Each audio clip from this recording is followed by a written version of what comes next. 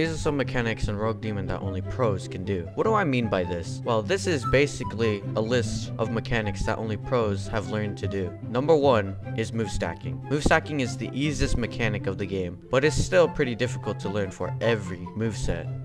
Number two is block bypassing. Block bypassing can be fairly difficult as you need precise timing in order to actually bypass your opponent's block. And number three is afro dashing. Afro dashing is quite difficult to learn, but once you get the hang of it, it is fairly easy to do. And that's why